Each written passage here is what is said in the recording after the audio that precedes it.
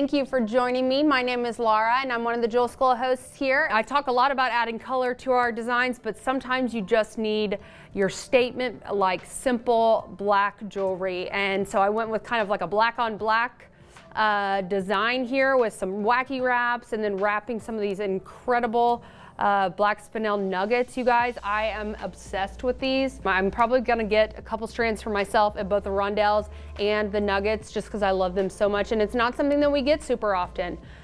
Um, I'm also using some of this black or blue steel parawire but 20 gauge and 24 gauge. Uh, so I've got a set of wire in the show I believe we put it in there, um, this wire set that comes with those black tone wires. And it, I absolutely love black on black. I like kind of keeping it monotone like that. I just think it's cool and it's not something you see every day, you know, that, that black metal with the black stones. So those are, that's what I'm using. Um, material wise, tool wise, I'm going to be using my round nose pliers, my chain nose pliers, my flush cutters, six step bail shaping plier to make my ear wires and my handy dandy wire straightener. I'm gonna use a hammer and a bench block for to work harden my ear wire when I make it. And then I'm gonna use the cut burr end on my reaming tool, my bead reaming tool to round out the end of my ear wire so that it doesn't hurt when I when we put it in our ears. Okay, so let's get started. We've kind of done, we've done some similar, some designs that are kind of similar. Um, it's kind of the wacky wrap style that I've talked to you guys about. I've done a couple different demos with the wacky wraps, but I want to show you how to make the loop at the bottom so that you can dangle something down off of the bottom. Um, and really the wacky wrap, you can do it with any shape, any size. What There's nothing that you can't do the wacky wrap with. I've done it with chips, I've done it with round beads, I've done it with big chunky pearls. I mean, literally you can do it with anything. So I'm gonna cut myself a couple feet of this 24 gauge wire here. Um, the more the merrier, I say, the wackier the better. Um, so the more wire you cut, the more wraps you can do and the wackier you can get. So I just like to straighten my wire out too with my wire straightener before I cut it off the spool because it's just easier. Um, so I just grab my nylon jawed pliers and I just give this a couple tugs and get it straightened out. Just get any like kind of hard kinks out of the wire. And I'm gonna cut this off. All right, so I got a couple feet, maybe like three feet of this black wire here. I'm going to make a loop kind of at the third mark. So like if I were to bend this into thirds, just roughly bend this into thirds. Like this. I'm just gonna pick kind of a point here, like a little more than halfway down. And then we're, we will go in with our round nose pliers and we're gonna make a loop first. And I wanna make a decent sized loop because I'm gonna attach, you know, three of these dangles to the bottom here. So we wanna make a pretty decent sized loop. So I will grab a hold with my round nose pliers here, and then we're just gonna make a big loop here, and we're gonna close this loop off. We talked some uh, last week about open loops versus closed loops. I wanna do some closed loops on here for security because I'm using 24 gauge wire, which is can be, um, which is really, uh, not, what is the word that I'm, is soft and flexible. So for security, I'm gonna close my loops with some, just a couple pigtail twists here, like that. And so now I've got a closed loop and I've got a longer piece and a shorter piece. And I'm go we're gonna take our black spinel rondelles and for this earring I did 11 rondelles so I'm gonna put 11 of these guys on here these rondelles just string them right on here.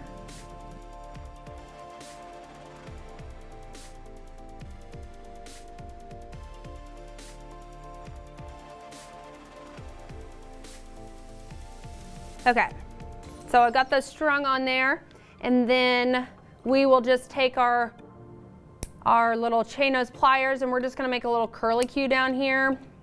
I'm gonna make myself a little bead stopper on the end of my wire just to make sure that those rondelles don't slide off. So just, I'm just gonna bend it over a little bit, make sure I can slide them down on the other end and they're not gonna fall off. So then we are going to slide one spinel down at a time, down towards this, the end here. Okay, so with that um, spinel pushed up towards my loop, I'm gonna come around with this longer piece of wire and I'm going to, we're gonna wrap it around that other piece of 20, 24 gauge wire just a couple times.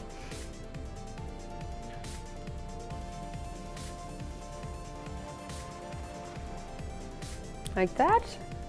Then we're gonna drop our next one down. Then um, again, wrap with our wire. I wrap like twice, maybe, give or take. And then we're just gonna keep doing this and we're gonna keep moving down our spinel and keep moving down our wire. And see, I'm not worried about getting it super tight. You can see I've got some space there, that's all right. Um, as, we, um, as we continue to wrap, these, this will continue to tighten, but again, it is the wacky wrap, so there is no right or wrong way to do this. So again,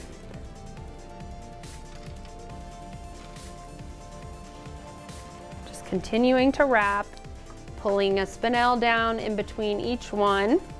And you know, this kind of extends the life of your beads too. Um, because we're creating this space in between our spinels, it, uh, we can, we use less spinels to get more length. So we can, if we'll have some extra, you know, to do other things, make a ring, make a bracelet, whatever you wanna do.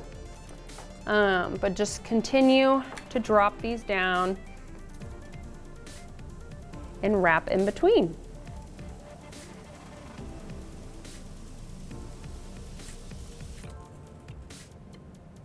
And I'm just gonna, um, and so sometimes if you're using beads that aren't like really uniform in size and shape, like like I said that I used 11, but I'm gonna, once I get these 11 wrapped, I'm gonna put it up next to my other earring just to make sure they end up being the same length because not all these rondelles are, you know, exactly the same size.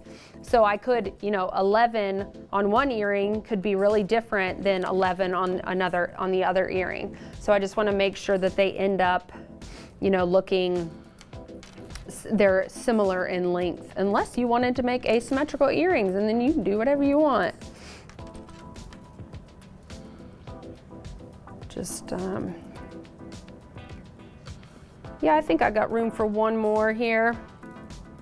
They may be a little different, but that's okay.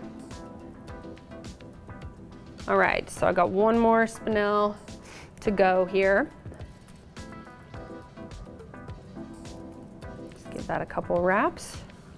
Okay, so I've got all these guys wrapped. Now we are going to grab, again with our round nose pliers, we're gonna make another loop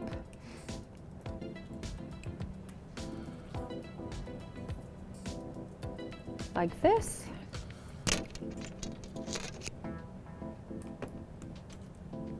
And we're gonna close this loop off.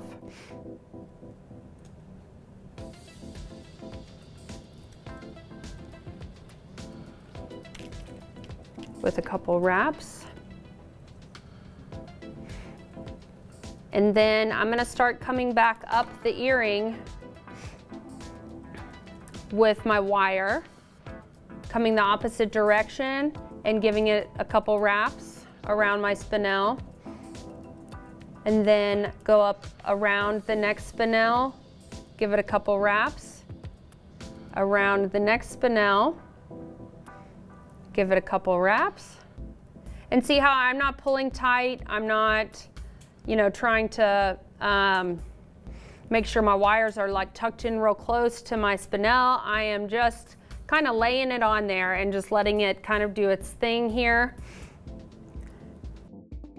And just continue to wrap. And I like I'm doing um, pretty full wraps in between each spinel. Like they're not, uh, I'm probably doing, I'm doing about three or four in between each one just to kind of bulk up that uh, little section beneath this, between the spinel. Also because we are using 24 gauge wire, so it's a little, um, it's more flexible.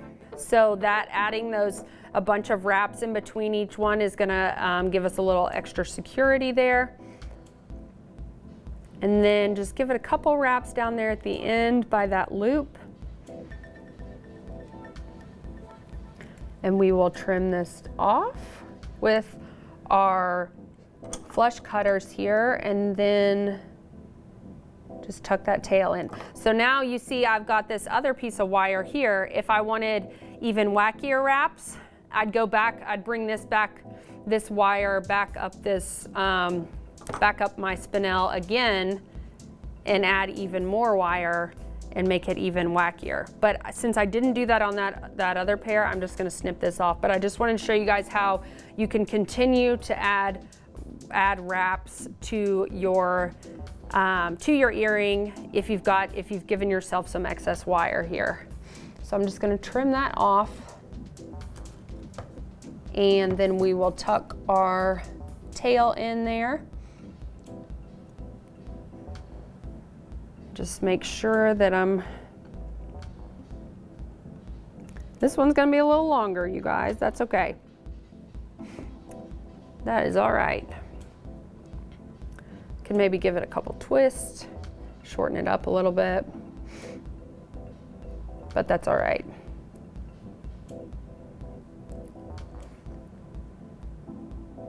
Okay, so now we've got a wacky wrap stick or post, post if you will, with loops on both ends. And now we are gonna attach our other, our spinel nuggets, our dangles, um, on the bottom of our little focal piece there. So I'm gonna use 24 gauge wire again. I'm gonna cut a couple pieces of like a couple three inch pieces of this wire. And again, I just wanna straighten this out especially the end of this wire. When you're working with natural gemstones, as a lot of you probably know, uh, the holes can be not as so uniform. Um, they could be, you know, bigger on one side and smaller on the other side, or they get real small in the middle. So making sure that the end of your wire is really straight is a great way. So if it is like, if you've got kinks at the end of your wire, it's gonna make it a lot harder to get through a um, small hole or a hole that's uneven. So making sure that you've got that straightened out is gonna make it a lot easier. Um, so I'm gonna cut, like I said, we're gonna cut some like three inch pieces of wire here with this 26 gauge wire. And then I will take one of my nuggets here and I'm gonna string it on here and just let it fall kind of to the halfway point. And then bend one side up, one side of the wire, bend it up and across that hole right there. Like that. And then I will, we will take that piece of wire and we're just gonna wrap it around that other piece of 26 gauge or 24 gauge wire there. So we're getting a little bit of the wacky wrap style on our nugget here. And then I will just trim this off. Tuck my tail in. And we'll, we'll make a closed loop up here. So I'm gonna grab right above those twists with my round nose pliers. I push forward with my index finger, grab a hold of my, my bead, rotate my pliers up towards the top, to the top, like that. And then I just press down into my finger, give it that little, almost the nape of the neck there. And then roll my hand back towards me so that my wire is pointing back at my chest. And then I'm gonna bring this around the bottom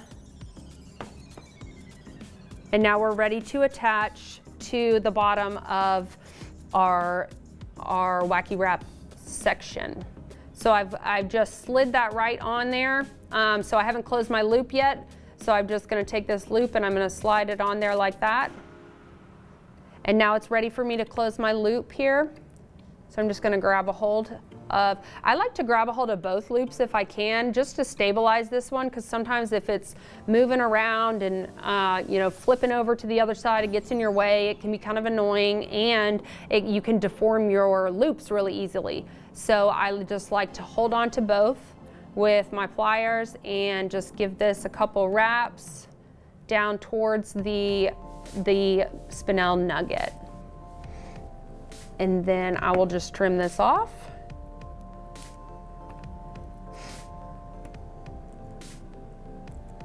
tuck my tail in here. So we've got one, and then I've got two more to do. I went ahead and made the loops on these. I'm just gonna attach them and close my loops off. So again, just wrap down towards the nugget. And again, with same with this wrap too, I'm not super worried that it's real neat and tidy because this whole earring is kind of, it's just one big giant wacky wrap. So we're gonna carry that theme throughout the whole earring. So I've got two. Now I'm ready for one more.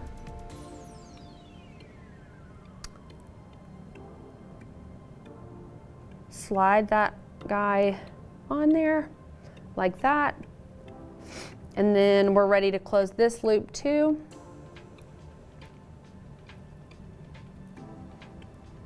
Just grab a hold of that and wrap down towards my spinel. Then we will trim that little wire off and tuck our tail in. And there we go. We've got all three of our dangles on. So now we are ready to make an ear wire. Okay, so I've got my six-step bail shaping plier here to make my ear wire. So we're gonna use our smallest little, our smallest step on the this pair of pliers to make the little loop that's gonna attach to our earring. So I just grab the very, very tip, the very end of my wire here um, it's important to get your pliers down on the very tip of that wire.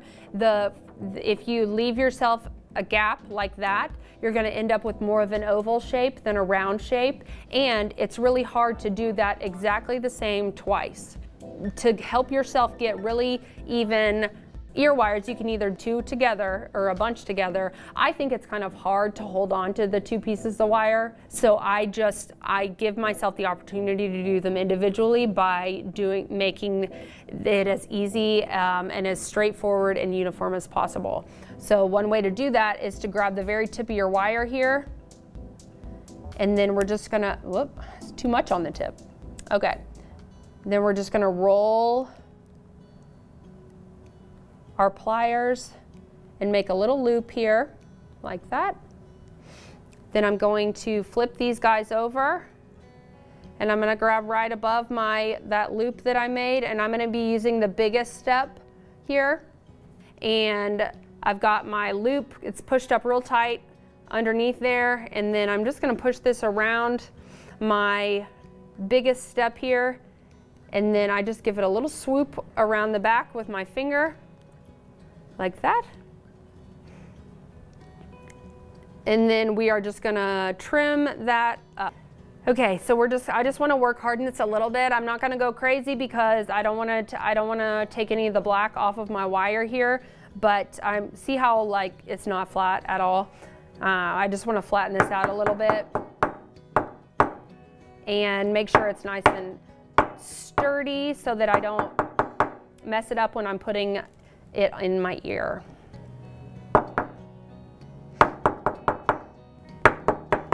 We always want to work harden our ear wires. No matter what we're doing, no matter what we're using, you want to work harden your ear wires because uh, very, very easy to deform them when you're putting your ear when you're putting your ear in, earring in your ear. That was a mouthful. Okay, so I am going to just soften up the end of this ear wire with my cut burr here. Just round it out with my reaming tool. Make sure that I don't have any real sharp points. If you have a file, you can do this with a file. Um, I think it's a little easier to do it with this cut burr, but whatever you, um, whatever you've got to soften this up, it's definitely something that you must do, especially if you are selling your jewelry. You do not want to give someone earrings with ear wires that are going to make their ears bleed when they put them on. Um, so definitely do not, that is a step you do not want to forget. Um, okay, so then we're gonna just open this guy up with our chain nose pliers. So that little loop I made up there, we're gonna open that up and we just slide that loop on right there. And then we're gonna close them back up. And that is all there is to this pair of earrings. I think this one's gonna be a, just a little bit, oh, it's actually turned out pretty similar. I thought one was gonna be way longer than the other, but I, they came out pretty, they, they lined up pretty nicely. Again, thank you guys for joining me. Thank you. Um, if you're new, thank you for coming and checking us out, and I hope you come back next time.